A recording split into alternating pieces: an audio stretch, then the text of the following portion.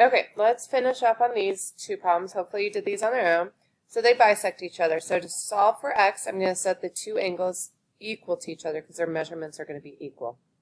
Um, I'm going to, oh, that's 3x. Sorry, not 13x. Okay, so I'm going to subtract 3x from both sides and I get 1x equals 6. So now they actually want me to find a to b to c. So I'm going to plug it into one of those. So I'm going to do 4 times 6, which is 24.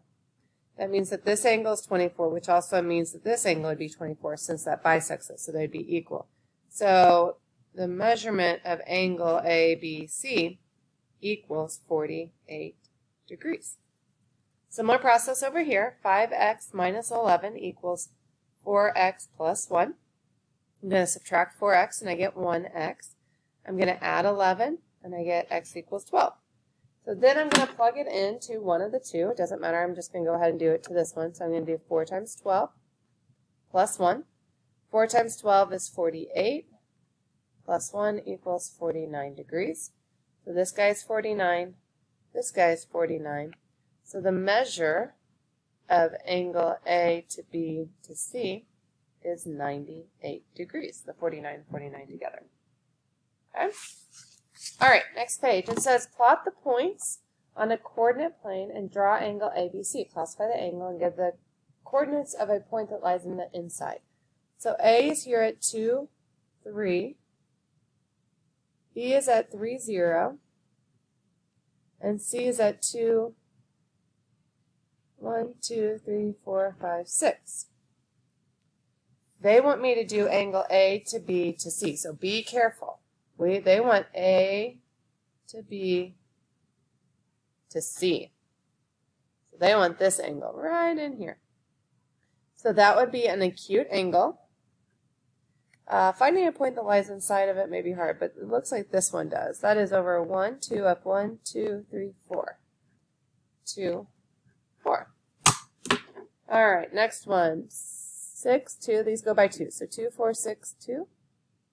That is A negative 1, negative 2, that's B, and then 2, 3, that is C. Again, I'm going A to B to C, so again, that's another acute angle. And it looks like 2, 2 is on the inside. Um, next one, these go by 2 again, so negative 4 up 3. Oh, sorry, negative 4 down 3. That's a negative 3. Uh, backwards 1 up 3. I'm struggling here. And then 4, 4. So A to B to C. Now this is an obtuse angle.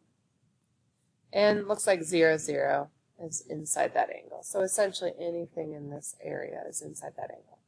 We're going to skip doing this because it's just the same, and I think you guys have uh, can plot those points and then decide whether they're acute or obtuse. All right, last one. Let 3x plus 4 represent the measure of an obtuse angle. Remember an obtuse angle is an angle in between 90 degrees and 180. What are all the possible values of x? So we don't know if that obtuse angle is 91 degrees. We don't know if it's 179 degrees. We don't know if it's 120 degrees. We have to be able to figure out any value of x between these two numbers. So you're just going to plug it into that inequality. You're going to say 90 degrees is less than we're going to take out x and put in the actual angle. 3x plus 24. And we're going to say it has to be less than 180 also. And then you're going to start solving this inequality. So to start solving the inequality, we want x left in the middle. So we want to get everything away from x. So first thing I'm going to do is I'm going to subtract 24. But instead of just doing it to the one side, I have to do it to both sides. So 90 minus 24, 90 minus 20 is 70. 70 minus 4 would be 66. We have this left in the middle because that 24 is gone. 180 minus 20 is 160. 160 minus 4 is 156. I'm going to divide by 3, but again, I have to divide it in all areas. So I get x in the middle. 66 divided by 3 is 22. 156 divided by 3 3 goes into 15 five times, it goes into 6 two times. So that means that the value of x could be anywhere greater than 22, but less than 52.